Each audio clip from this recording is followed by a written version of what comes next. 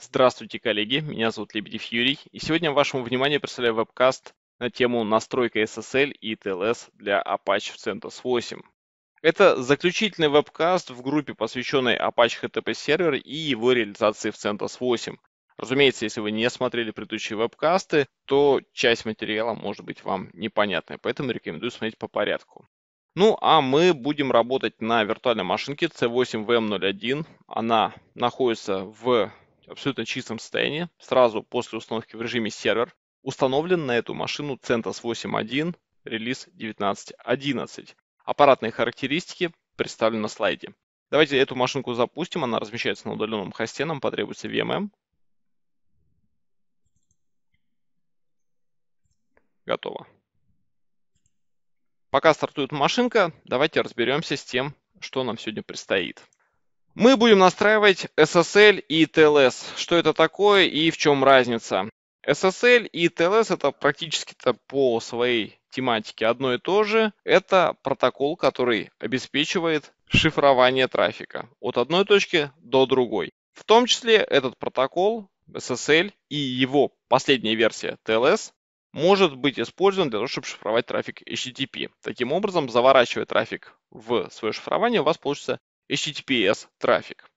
До сегодняшнего вебкаста мы настраивали веб-сервер Apache для работы в качестве HTTP сервера, а сегодня у нас начнется работа с сервером HTTPS.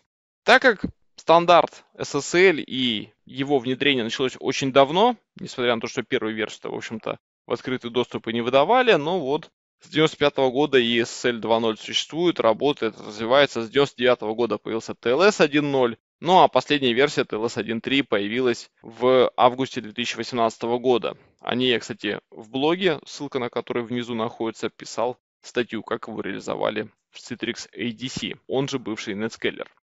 Зачем же постоянно выходит новая версия? Новые версии, они более безопасны, используют более совершенные алгоритмы и новые версии позволяют устранять уязвимости.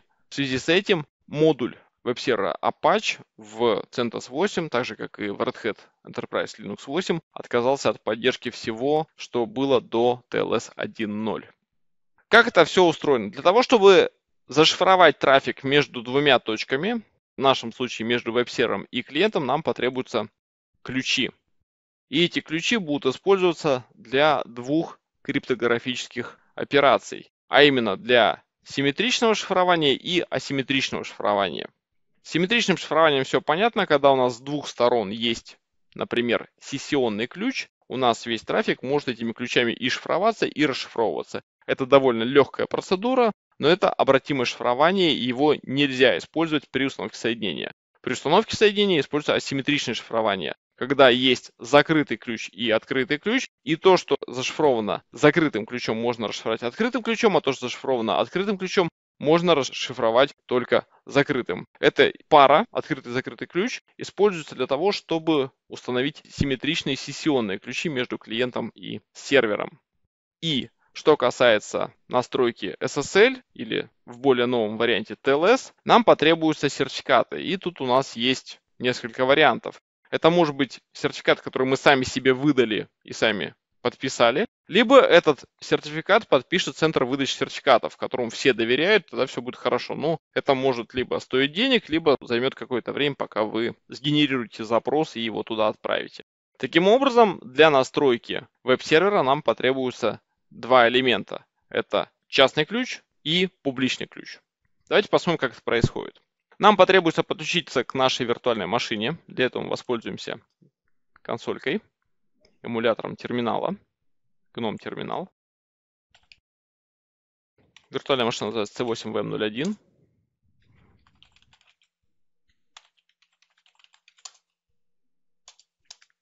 Здесь нету веб-сервера, поэтому давайте его еще развернем. И когда мы говорим про установку веб-сервера, который будет использоваться как TLS или SSL сервер. Его очень часто называют SSL или HTTPS сервер, как хотите. Или уже в некоторых случаях встречается название TLS сервер. Нам помимо стандартного пакета HTTPD потребуется еще пакет mod SSL. Как понимаете, этот модуль веб-сервера расширяет его функционал и позволяет использовать SSL TLS шифрование. И вместе с собой mod.ssl подтянет еще и утилитку OpenSSL. Но в моем случае она стоит, поэтому ее ставить не нужно. Окей, продолжаем установку, она не очень большая.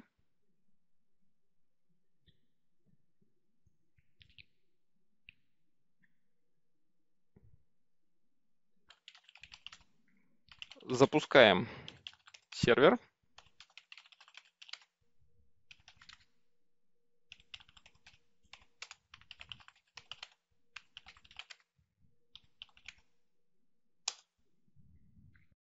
Настраиваем его автоматический запуск и видим, что все в порядке. Хорошо. Настраиваем межсетевой экран. 80 порт, ну, либо в нашем случае предпочтительнее будет использовать сервис HTTP для HTTP трафика и на постоянной основе. И сервис HTTPS для SSL TLS трафика. в том числе на постоянной основе. Готово.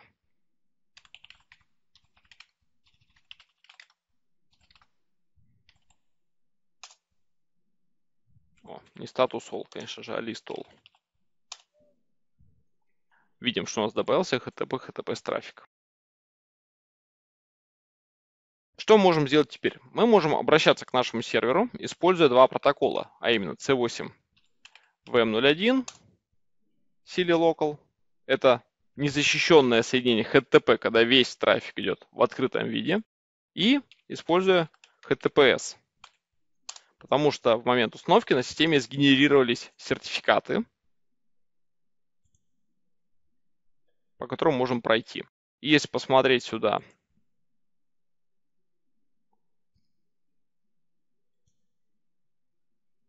то мы увидим, что это сертификат, в котором вообще ничего не указано, ни организация, ни подразделение, есть какой-то номер, есть какое-то короткое имя, которое вообще не понятно чему соответствует. То есть тот сертификат, который есть на системе из коробки. Он ставится вместе с пакетами OpenSSL и ModSSL. OpenSSL у нас уже стоял, ModSSL мы сейчас доставили. И это нас не устраивает, поэтому нам потребуются нормальные, корректные сертификаты. Как это делается? Очень просто. Для этого у нас есть довольно простая командочка, называется она OpenSSL. Она может делать все. У нее очень большая страница руководства, или лучше даже веб-справкой воспользоваться, если вы с ней не знакомы. Что она позволяет сделать? Она позволяет нам пройти все этапы генерации цифрового сертификата. А именно, начать с генерации ключа, только ген PK, ген private key, то есть генерируем частный ключ. Указать алгоритм, который мы будем использовать для создания частного ключа. Мы могли бы, конечно, воспользоваться ключом, который у нас уже есть на системе, но он не содержит интересной и необходимой нам информации. Поэтому GenPK алгоритм, это будет RSA. Ему можно передать опции primary key options, то есть PK opt. Я хочу указать длину ключа. Это делается при помощи опции RSA keygen bits. И длина ключа 2048 бит. И на выходе я хочу получить некий ключ C8 VM01 K. Это частный ключ. Этот частный ключ всегда хранится на машине. Делайте его резервную копию, никому его никогда не передаете, потому что если кто-то получит частный ключ, все, сервер компрометирован, можно все начинать сначала. Хорошо, есть ключик, обращаю внимание на права, которые ему назначаются в момент создания. Далее нам необходимо воспользоваться этим ключом для того, чтобы сделать запрос на цифровой сертификат, который мы сможем отправить в центр выдачи сертификатов. То есть Certificate Signing Request создать. Это тоже очень легко делается. OpenSSL, ключ req, то есть request. Это новый запрос. Просто есть запрос на обновление, когда уже есть сертификат, он вот-вот устареет. Нам нужно указать ключ. В нашем случае у нас есть c8vm01.key. И на выходе мы получим наш запрос на подпись сертификата. C8 VM01, сокращение CSR, Certificate Sign Request. Он нам задаст набор вопросов, по которым можно будет потом этот сертификат идентифицировать. В частности, укажите код страны. Ну, пусть это будет, например, JP. Провинция. Токио 3. А, нет, Токио. Город. Токио 3. Организация. Силе. Подразделение. IT. Common Name. Это самое важное поле, потому что по нему будет идентифицироваться подключение. То есть если URL подключения отличается от Common Name в сертификате, то есть, если вы записали C8VM01 Sili Local, а подключаете по HTTP 01 Sili Local, это явная ошибка. Поэтому запишем C8VM01 Sili Local, проверим, что ошибки нет. Вроде бы все верно. И остался почтовый адрес. Вещь опциональная, но мне не жалко, я напишу. Тем более, что вот такой вот. Нетрудно догадаться, что я не планирую куда-либо этот запрос отправлять. Но вот он у меня есть. Если на него посмотреть, то любой, кто генерировал когда-нибудь ключи, неважно для чего, например, для почтового сервера Exchange, то вот с этой вот картинкой хорошо знаком. То есть, если бы вы использовали, допустим, домены службы Active Directory, и в них службы сертификации Active Directory Certificate Service для подписи сертификата, вот этот кусок кода нужно было бы вставить в соответствующую форму. Но я сделаю по-другому. Я сам подпишу себе этот сертификат. Поэтому команда OpenSSL, указываю формат сертификата X509. Это request. Я его хочу подписать на 100 дней, но мне больше не надо. На вход у меня подается мой C8VM01 CSR, Sign Request, в котором уже все прописано, все параметры. Подписывать его нужно ключом, но у меня ключ только один, поэтому тем же ключом, который используется для генерации запроса, я и подпишу этот сертификат. C8K.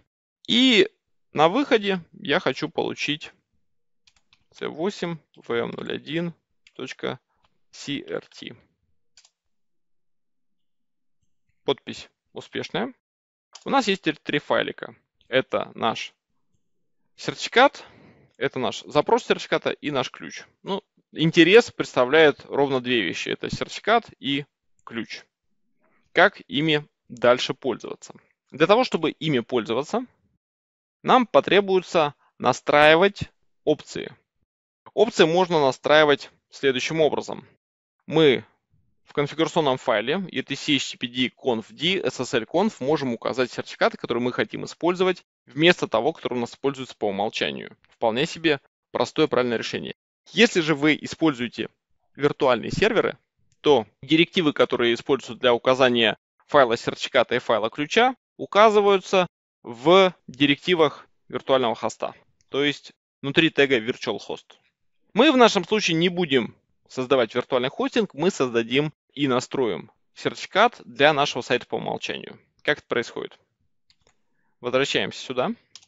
Наши сертификаты нужно положить в правильные каталоги, а именно делаем копию C8 VM01 сертификата, он у нас будет теперь находиться в ETC, PKI, TLS. Там, кстати, по старинке есть и SSL, CERT. И сюда положим. Так. CERT, разумеется, сертификаты. Далее. Скопируем ключ. Он тоже пойдет в ETC, PKI, TLS, Private. Есть копия. И далее мы идем и правим наш конфигурационный файл. vim, etc, httpd, conf, modulus d. И тут у нас есть не этот conf modulus d, нам нужен conf d. Тут у нас есть ssl conf. Потому что здесь глобальный параметр, здесь наши частные параметры для сайта по умолчанию. Идем в него. Указан порт для прослушивания, нас он устраивает. И далее нас интересует непосредственно указание. Видите, далее идет директория виртуальный хост, и этот виртуальный хост будет ссылаться непосредственно на наш сайт. Почему не снесется сайт по умолчанию? Потому что порт отличается. То есть так же, как мы это делали, когда добавляли 81 порт. Виртуальный хост. И у этого виртуального хоста, который наш же сайт открывает еще и на 443 порту, есть очень полезные директивки. В частности, это SSL Certificate файл и SSL Certificate Key файл. И вот те самые ключ и сертификат, которые используются для шифрования трафика по умолчанию, как только мы все поставили. А мы хотим, чтобы использовались наши. Поэтому что мы делаем? Мы вместо вот этого localhost, который здесь предлагается, впишем наш C8 VM01. Готово. Сертификат указали. Вместо частного ключа также C8VM01. Готово. Сохраняем. Можно воспользоваться Apache CTL config тест. Синтез ОК. И перезапускаем reload HTTPD. Готово. Есть перезапуск. Идем сюда. Вновь обновляем. Мы получаем вновь ошибку. Ошибка связана с тем, что я сам себе подписал сертификат, а не какой-то доверенный центр выдачи сертификатов. Принимаем риск, продолжаем. Видим, что сайт нам доступен. А если посмотреть сюда, то теперь, во-первых, веб-сайт указан корректно. Во-вторых, организация, ну и у нас здесь есть раздел такой, как выдавший Иша. И мы видим, что мой почтовый адрес, common name использованный, IT, Сили, Tokyo, JP и так далее. То есть все здесь на месте. Поэтому не очень сложно заменить конфигурацию по умолчанию на нее. Если бы мы делали виртуальный хостинг, то вот эти же две директивки не в общем конфиге SSL-conf, а просто скопируйте себе туда, где у вас лежит виртуальный хостинг. И у вас будет отдельный виртуальный хост отдельным сертификатом защищаться. Или можете использовать wildcard сертификаты, можете использовать sense сертификаты, где используется subject alternate names. Вас в этом никто не ограничивает. Тут нужно отметить, что в зависимости от производителя, как правило, прописывается пара в виде имени и IP-адреса. Соответственно, смена имени либо IP-адреса потребует от вас сделать новый запрос, в запросе указать новый common name и потом его отправить на подписание вашему удостоверяющему центру. Также нужно отметить, что, например, VeriSign еще и записывает информацию в веб-сервере. Соответственно, если вы использовали один веб-сервер, одно программное обеспечение, потом его меняете на другое, например, сидели вы на Oracle Application Server, решили поменять его на Apache, и в таком случае вам придется тоже выпускать заново сертификат. Последний момент, который я хотел бы сказать, он реже требуется, но безопасность наше все, поэтому внутри конфигурационного файла есть директива SSL протокол, в которой довольно легко можно, используя набор инструментов, менять то, какие будут версии протокола TLS поддерживаться вашим сервером. И, например, можно там отказаться от TLS 1.2 или наоборот что-то вернуть, подключить. Давайте покажу, как это выглядит. Вернемся в текстовый редактор. Здесь у нас есть директивка SSL протокол. Нет. Вот, видите. Она работает в следующем, смотрите, SSL протокол, она по умолчанию закомментирована. Что он делает? All разрешить все, вычесть SSL v3. Или можно было бы наоборот, у SSL v3 оставить, а у all наоборот поставить минус. И тогда работало бы только так. Или, например, использовать здесь не SSL, а TLS, например, 1.3. Соответственно, только он будет работать.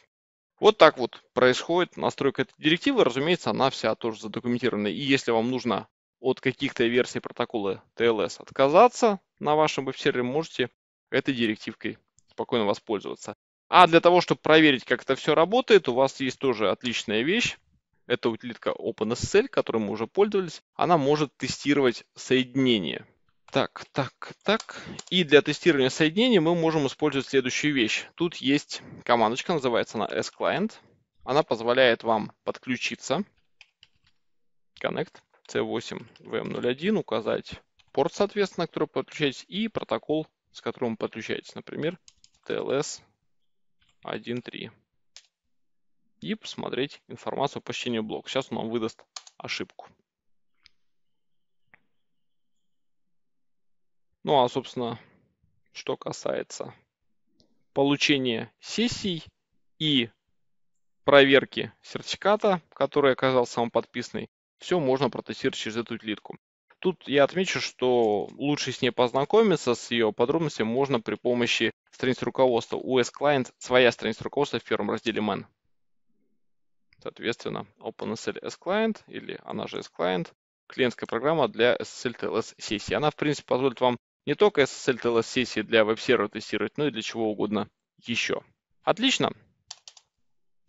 Будем подводить итоги. Мы познакомились с тем, как устроен в самом общем виде SSL TLS, какую задачу здесь решают сертификаты и как работает мод SSL, как его настраивать на веб-сервере Apache в CentOS 8. Ну и я отдельно рассказал о том, как управлять версиями TLS, если вам это потребуется. Дополнительную информацию смотрите в страницах руководства. Ну и для работы с OpenSSL дополнительно отдельно онлайн документация есть на сайте OpenSSL.org. Там все очень подробно расписано. Это был заключительный вебкаст по веб-серверу Apache. На данный момент на этом все. Но также в других разделах по операционной системе CentOS 8, особенно операционной системе CentOS 7, вы можете найти много вебкастов на аналогичные темы по настройке каких-либо серверов или компонентов системы Linux. Материал вебкаста на этом закончился, надеюсь, было интересно. Если у вас появились какие-то вопросы, которые вы хотели бы обсудить, присылайте их мне в почту на lebedyfury.gmail.com. Подписывайтесь на новости у меня в блоге. Все мои материалы собраны и каталогизированы на сайте. Ну а пройти комплексное, в том числе авторизованное или авторское обучение по операционной системе Linux вы можете в учебном центре Softline Education, в том числе и под моим руководством. Ну а следить за тем, что я делаю, можно при помощи моих социальных сетей. На этом все. Спасибо за внимание и будьте здоровы.